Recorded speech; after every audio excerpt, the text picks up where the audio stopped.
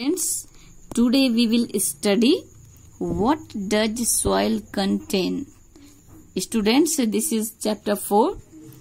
इसका मतलब क्या हुआ what does soil contain means soil क्या क्या सॉइल में रहता मिट्टी में क्या क्या होता है number one soil contains stones gravel यहाँ पे ब्रैकेट में आप लोग देख रहे हैं।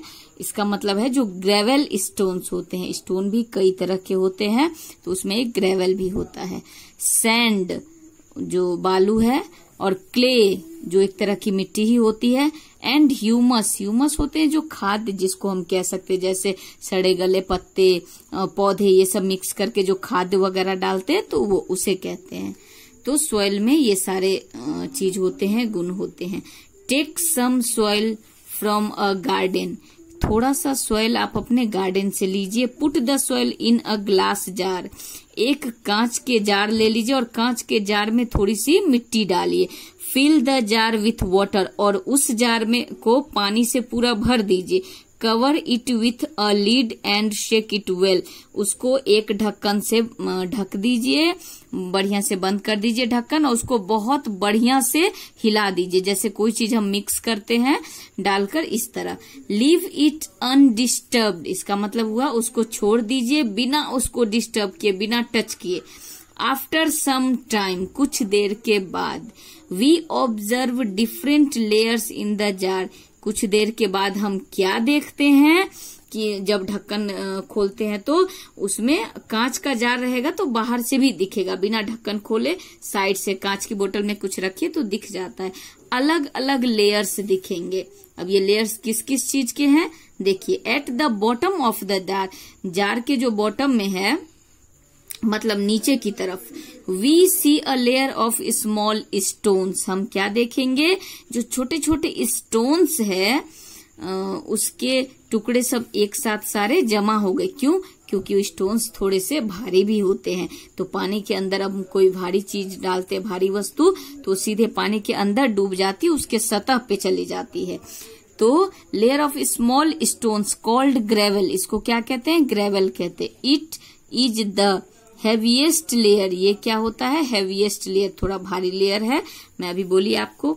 Above the layer of gravel, we find a layer of sand. मतलब ग्रेवल जो है, वो स्टोन जो है, उसके ऊपर किस चीज़ का लेयर पाएँगे? सतह। सैंड का मतलब बालू। Containing larger particles. वो बहुत ज़्यादा मतलब बड़ा, उससे पार्टिकल्स दिखेगा कि मतलब जगह लिया है।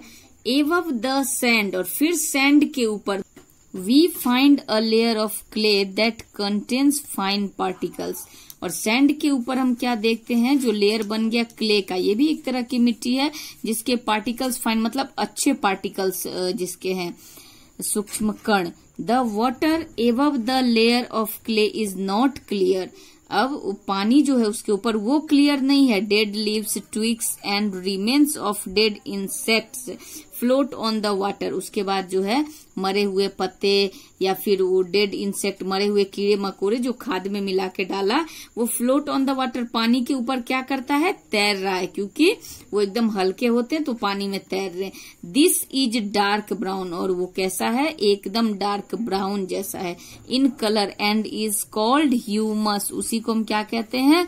Humus it makes the soil fertile इससे क्या होता है? मिट्टी उपजाऊ. फर्टाइल मीन्स उपजाऊ. इससे क्या होता है? मिट्टी उपजाऊ होती है. This shows that soil contains stone sand clay and humus जब इस प्रक्रिया को आप करेंगे तो आपको लगेगा, पता चल जाएगा कि मिट्टी जो है वो कंटेन करती stone gravel stone sand clay humus इसको कंटेन करती है। Number two soil contains water अब देखिए वाटर की भी प्रक्रिया के द्वारा यहाँ पे देखिए, ये पिक्चर दिया हुआ है ना? तो ये पिक्चर के द्वारा यहाँ पे समझाने की कोशिश किया गया है। Soil contains gravel sand clay and humus अब देखिए, यहाँ पे जो सतह बन गया है, दिख रहा है, ये कांच का बोतल है इसमें। ये देखिए, ऊपर में ह्यूमस है, वो तैरते हुए सब कुछ है, जो कीट पतंग है, मरे हुए। ये देखिए, पानी का लेयर है।